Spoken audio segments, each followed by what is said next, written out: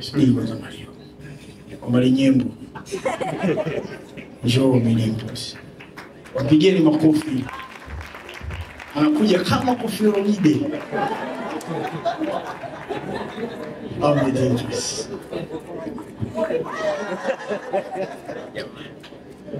Karibu sana. Eh. Na kuimba. Eh, nyimbo Relax basi Subiri watu wachukue picha. Kwanza nilikuwa nishaanza kukumaini. Maki wanaongea sana mwisho wake anaweza kuimba mzee kashaondoka. Maki nakumbuka tulipokuwa Kizimkazi kwenye kwenye shughuli ile Kizimkazi Festival. Nikawa nasoma ile ratiba. nikaambia meneja yangu, bwana meneja, navyojua mimi tabia za viongozi protocol, mama ataondoka achekeche kabisa kwa majei kule, Mimi mapema. tuimbe mapema. Sasa kuna wale wasanii bwana, anaona kuimba mwisho ndo ustaa. Basi ilifika time Jux, bora na enjoy mama yule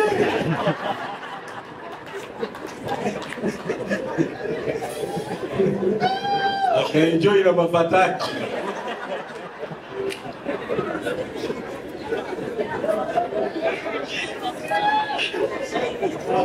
mimi najuaga ya mambo. Nilikuwa namwambia Aida.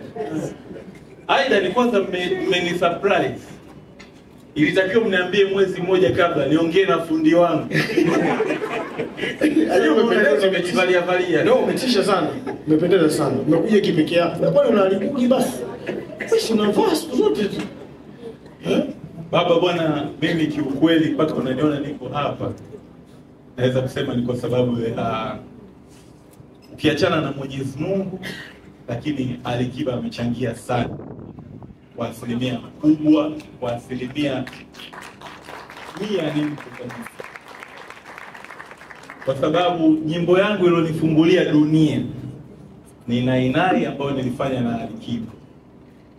Na Alikiba nilifanya naye wimbo wakati ndo ametoka kuimba na Rakeli, hivyo naelewa. Yaani ametoka tu kuimba na Harakeli, katoka tu Marekani nge, na mimi nikapiga simu kwa mganga wangu Kigoma, kanaambia imeisha hiyo, na ndo maana mimi yule mganga hadi leo namtumia M-Pesa, nimempangia laki tisa lakini namtumia kila siku elfu thelathini. Kwa hiyo wewe hata ukimpa milioni ukapotea. Na kuna kijana yeye hela anatuma kila siku. Ndio Tigo pesa ya Telman. Eh, lakini kiukweli kabisa napenda nikushukuru kaka yangu nikupe maua yako. Na sema sasa hivi nakukujua mkigoma wewe utakuwa atupumue. Yani kitu kile kujua na redio mimi? Redio na maje yule na alikuwa fundi cheleani kwa usitutishe sana. Sherehe Sasa hivi nakudisha nini? Kila wakati nawaambia ni hapa ni ushaanza tena unajua sisi wafanya biashara mshajua la kusaga.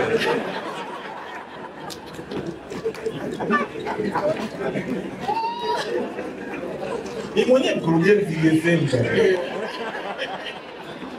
wote usitishane tukiongea tunaongea kama eh mkurugenzi vipi umeonana na yule msanii aiwai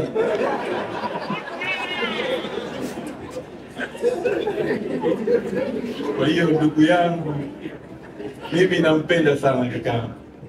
Sometime najua na wewe kwenye kwenye kwenye nani kwenye mitandao uko unaona vurugu vurugu za hapa pale, lakini ndo ndo ndo mziki wetu unavyotaka. Upinzani lazima uwepo, mbona bwana. Kwa hiyo lazima kidogo uchangamke. Na wewe siku ukijisikia tu kwenye redio pale unamwita Zabibu, unaweza kuigeuza ikawa ya familia. Ah, hii ni kitu?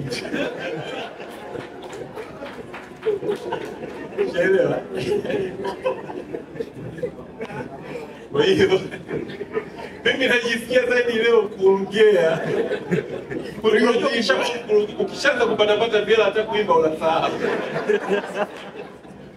kwa sababu usifanye mchezo. Jana nilikuwa Marekani eh?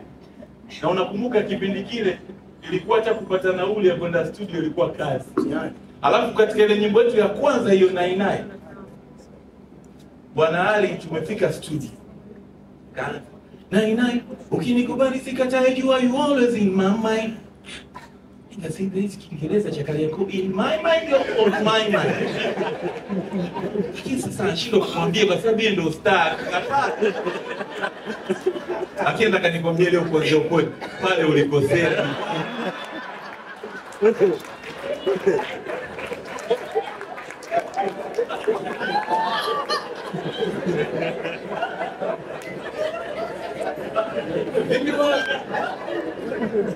Huyu kaja kwa stage comedy. Manake yeye nashangaa anaimba kule. Kipindi kidogo sauti kweli alikuwa na bado. Umejipata mwanzo ulikuwa unaingia nai. Ukinikubali naijua. In my mind. In. Kwa sababu kidogo mi shule ninayo nayo ile.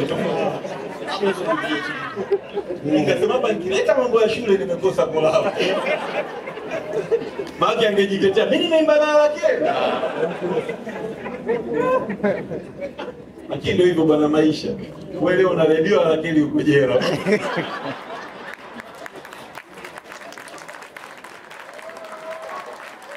Inatosha jamani, huyo ndio Dimpoz the comedian.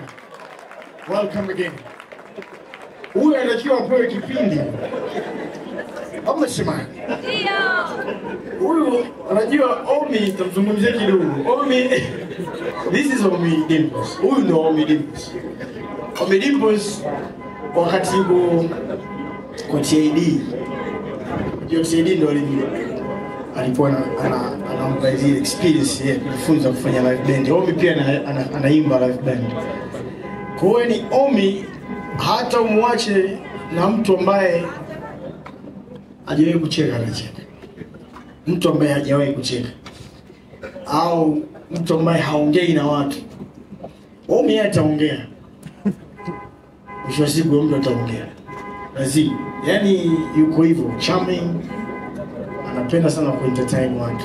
So that's all me kipaji chake cha pili ndio hicho alichokileta hapa. Nimemwita aje kuimba haja kuongea. Thank you so much anyway. Sasa mimi namwita baba. Jamani mpigieni makofi na Rio ndugu yangu mdogo wangu. Asante sana kwa kuja na looks good pendeza karibu sana